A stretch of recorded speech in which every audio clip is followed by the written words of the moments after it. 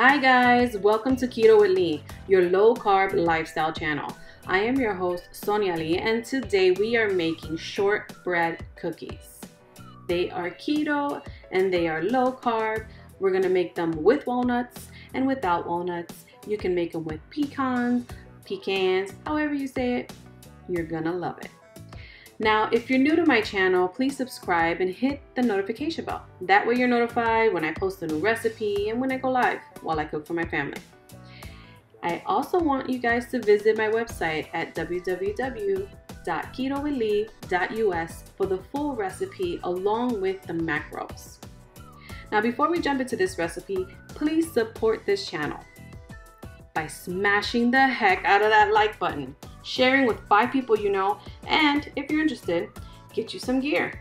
I have motivational merch on my online store. The link is in the description below. Now, let me show you how I keto. Alright guys, so to get started, we're to take our stick of butter. I chopped it up like this into, I guess, tablespoons. And we melted it. Now, always use a microwavable bowl, guys and I melt it at 30 second intervals, stirring in between each.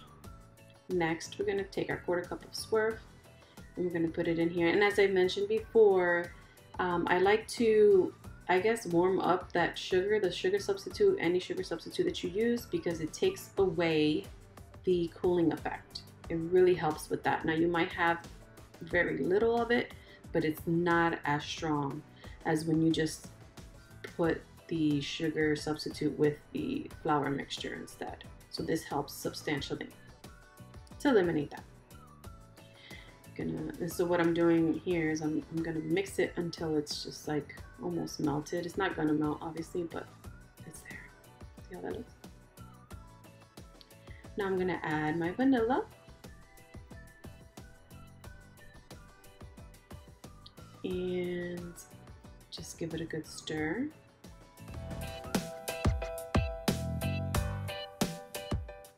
It should look.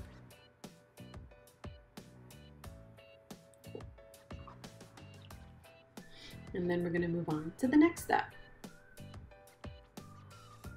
Now here's the almond flour, and I always say to do this. You can use one of those sifters for the flour, but this works perfectly to get those little lumps out.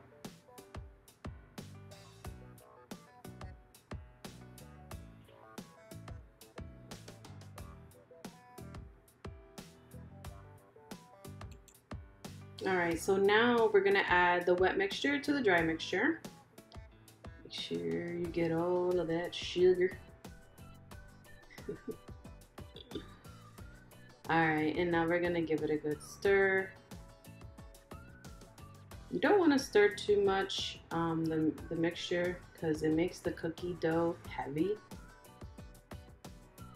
But I do want to encourage you to once again visit my website for the full recipe along with the macros at www.ketowithlee.us.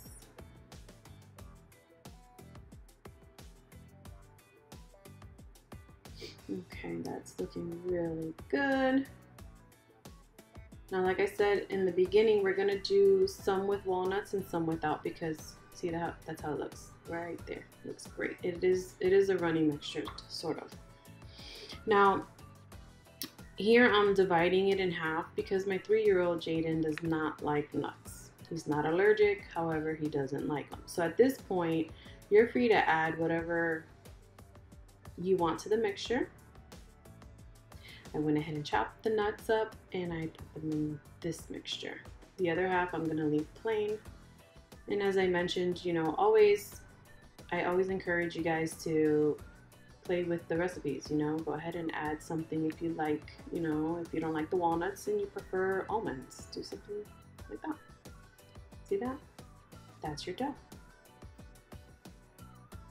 And this is the plain one. And now we have our lined baking sheet and I'm taking one teaspoon. It is a heaping teaspoon. And we're gonna roll it into balls. Just like that and you want to put them two inches apart at least because they do spread out So I just use my two fingers as a guide. There you go. Just like that.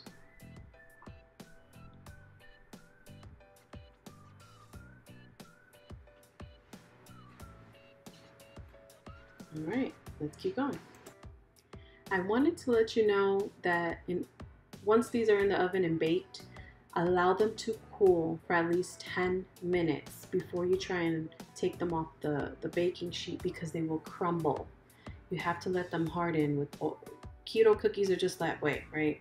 So let them harden into a cookie. And that's all you have to do. And you're obviously gonna do the same thing with the plain ones two inches apart, and now we're off to the oven. We're gonna bake these at 325 degrees Fahrenheit for 10 to 15 minutes or until they're golden brown around the edges. Always check at midpoint, guys. See how they're golden brown around the edges here? I think I cooked them a little too much, to be honest, but just keep an eye on that oven. I always like to check at midpoint. Now all that's left to do is to eat them. Don't forget to visit my website, www.ketowithlee.us for the full recipe and the macros. Thank you all for your support, and thanks for watching How I Keto. See you next time.